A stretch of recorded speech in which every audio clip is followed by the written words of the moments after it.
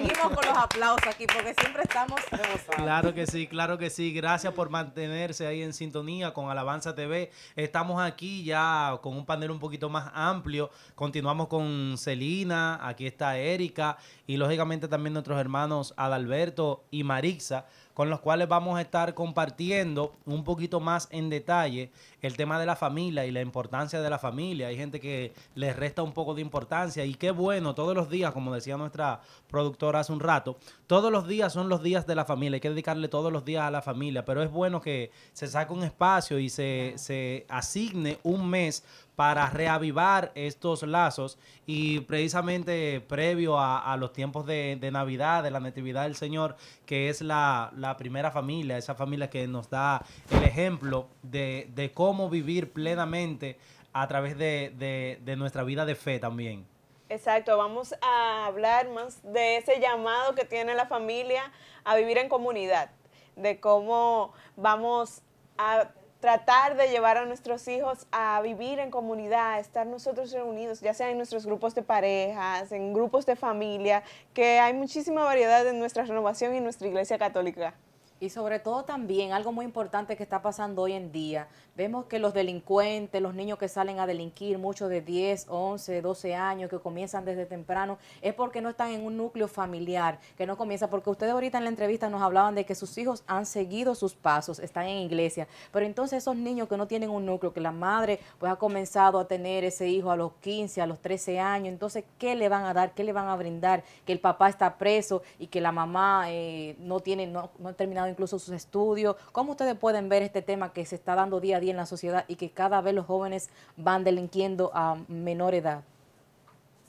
Eh, ¿Podemos Marixa o, o, Bueno, precisamente creo que es un compromiso de nosotros lo que hemos podido ya estar en los caminos y conocer. De ahí la preocupación de la renovación carismática católica, de hacer algo por ese tipo de personas y de ahí surge el Ministerio de Familia Precisamente es un ministerio muy joven, reciente, apenas tenemos como menos, creo que menos de dos años, precisamente para contribuir al fortalecimiento de las familias, porque creo que somos nosotros los llamados, ya los que tenemos un poquito más de conocimiento del Señor, a ayudar a ese tipo de personas.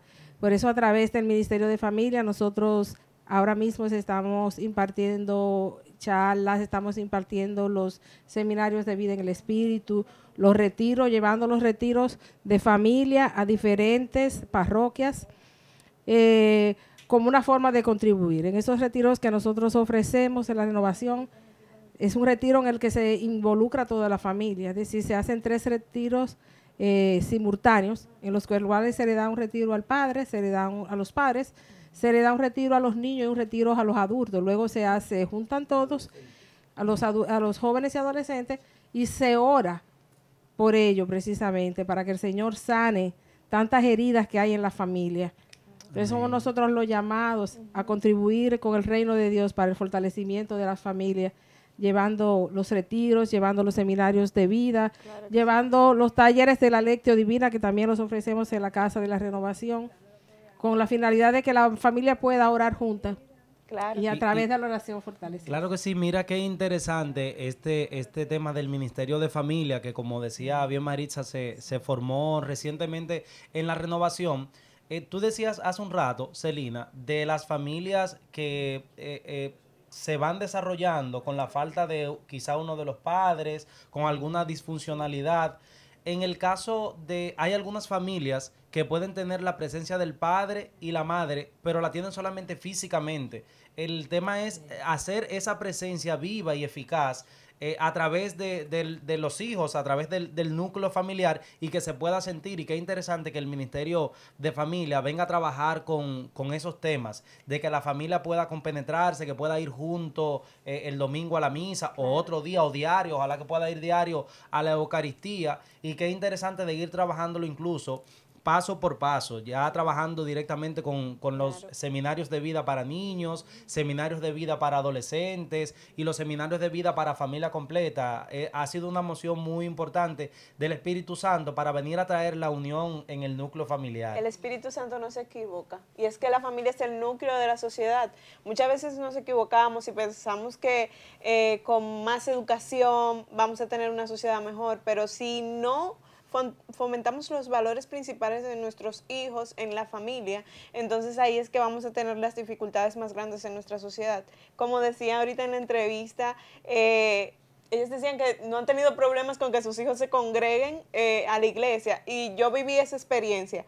Por ejemplo, a mí nunca mis padres me dijeron, ven, tienes que ir a la iglesia porque eh, es lo que manda, sino que al ver cómo ellos vivían la fe, yo quise entregarme Su testimonio. y vivir eso que ellos vivían. Qué lindo, qué bonito es así cuando las cosas pasan. Y algo importante también que está pasando ahora es las madres solteras, bien Richard también hablaba, las madres solteras que quedan embarazadas, que luego ese padre se retira, comienzan a subir con problemas este niño, con situaciones de laguna, llegan adolescentes, lo primero que piensan es en suicidarse. Hay una gran mayoría de jóvenes que comprenden entre los 12, 10 años, incluso hasta 11, que eh, que vemos a diario que quieren quitarse la vida, que quieren suicidarse. Entonces uno se pregunta, caramba, ¿qué está pasando con la sociedad? Pero que llega un momento que a veces los psiquiatras y los psicólogos no pueden. Y ahí es que entra entonces lo diferente de su ministerio, que es la vida cristiana, la vida centrada en Dios. Porque donde se paran los médicos, ahí entra Dios. Entonces, me imagino que ¿Cuáles son los casos más frecuentes también que ustedes pueden decir que en este tiempo, que es corto, sí, pero que le han llegado, que está pasando más en la sociedad? Mira, a propósito de lo que tú dices, eh, nosotros damos retiro eh, en Najayo, en las cárceles damos retiro, pero en Najayo adolescente eh, fuimos a dar un retiro y se me ocurrió de preguntarle que los jóvenes que venían de familia de padres separados, que levantaran las manos y todos levantaron las manos. Caramba, qué difícil. Todos levantaron las manos. Eso quiere decir que realmente la familia juega un papel importante. Tanto mamás como papás tienen que buscar que, Jesús entre en su hogar, en su relación de pareja, para evitar eh, realmente los divorcios y las separaciones. Porque eso, ah, esa situación es una situación que viene ah, al trate de que los niños después, al, criarse sin padre o sin madre, eh, empiecen a delinquir y van a parar a las cárceles, van a, parar a las bandas, van a parar a situaciones que realmente son rechazados en la sociedad. Claro. Qué triste que pase esto. A veces pasa porque por condiciones externas, eh, puede que uno de los miembros de la familia fallezca o algo por el estilo, pero ahora se nos está dando que la gente lo hace a propósito. Muchas veces hay madres que eh, se proponen el ser madres solteras, el criar un niño solo, el, no tener un matrimonio, no tener una familia formada, simplemente querer tener un, traer un niño al mundo que va a estar deficiente de todos esos valores que le agrega el tener una familia. Estoy de acuerdo, ese es un tema muy importante el que acaba de mencionar Erika. Bueno, yo no voy a tener relación, yo voy a tener mi hijo, pero lo voy a criar solo, porque yo no voy a estar con ese hombre para que me maltrate o me dé golpe o algo. Entonces, ahí, muy buen tema ese. Sí, que están llegando esos casos. precisamente, eh, eh, como decía Maritza, eh, fuera del micrófono, la idea es evadir responsabilidades. El matrimonio y la vida de familia es una responsabilidad. Yo tengo cuatro años de casado y no son ni dos ni tres. Mire cómo se sonríe. Los, inconvenientes que se han visto, pero se han susanado. Y hay que ser responsable para estar en las buenas y en las malas, como lo decimos. Así como han sucedido bajas si pudiéramos llamarlo así, han sucedido muchas altas que compensan eso. El nacimiento de mi niña, como usted decía hace un rato, eso, eso es algo que no tiene precio y son cosas que hay que vivirlo en familia. O sea, no es lo mismo que te cuide eh, tu bebé una guardería a que cuando tú llegues en, en, la noche de tu trabajo puedan reunirse en familia, a sintonizar Alabanza TV y a ponerse todos en sintonía, a ver un programa, a leer un libro, a leer un cuento, a jugar un juego, valga la redundancia, en, en la casa, todos juntos en familia. O sea, no es lo mismo cuando hace falta eh, la presencia de uno, de uno de los padres. Y muchas veces dirán que es difícil, es difícil mantener una familia, es difícil arriesgarse. Por ejemplo, el otro día yo me caso próximamente Ay, y ay, ay, hablábamos con Celina, reto. hablábamos con Celina y me Sí. decían, no, pero que tú eres valiente, que todavía te atreves. Y son, pero es que va mucho más allá de lo, Sí. como decía Richard, es mucho más Y hermoso. tú estás preparada para cocinar. Sí.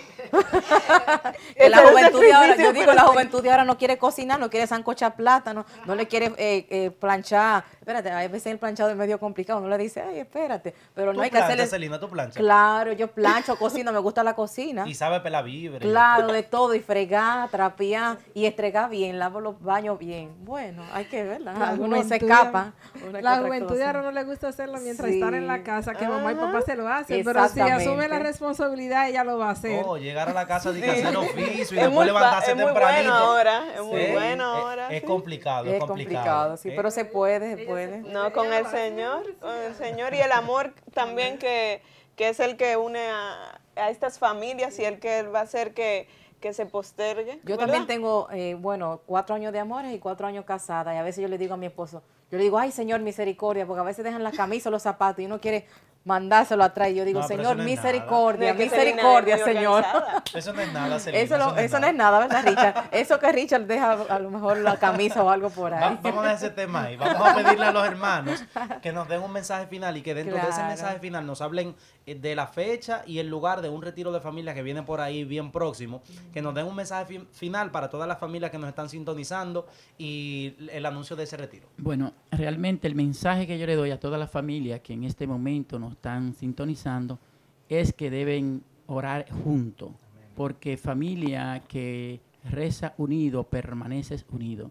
Y tenemos realmente un gran resto y es el estudio de la palabra a través del método de la lección divina. Es para nosotros en familia escudriñar la palabra y profundizar. ¿eh? Cuando nosotros escudriñamos la palabra y, y profundizamos en la palabra, ya nosotros podemos vencer cualquier tentación, cualquier obstáculo que se pueda presentar a la familia. Por eso yo le invito a que nosotros debemos también participar de los retiros y retiros también de familia, los seminarios de vida, llevar a los niños a los seminarios de vida para niños. Nosotros próximamente vamos a tener un retiro en Boca Chica de familia el domingo 27 de noviembre. Son tres retiros simultáneos. El retiro de adultos, el de los niños y el retiro de adolescentes y jóvenes. Es decir, que toda esa zona oriental que se desplace para allá, para Boca Chica, porque allí el Señor se va a manifestar con poder y gloria. Amén. Amén, que así sea. De verdad que muchísimas gracias a Adalberto Pérez y a Marixa Espinal, porque Dios los siga bendiciendo, recordándoles que ellos son del Ministerio de Familia de la Renovación Carismática Católica. Así que muchas bendiciones, que sigan emprendiendo. Y a ustedes no se muevan, porque cuando retornemos estaremos conociendo la agenda de la semana y qué va a pasar. Atención a ti, joven, que estás en casa con una nueva actividad que comienza a relanzarse y comienza a motivarse. Así que vamos a la pausa y retornamos con más de Alabanza TV.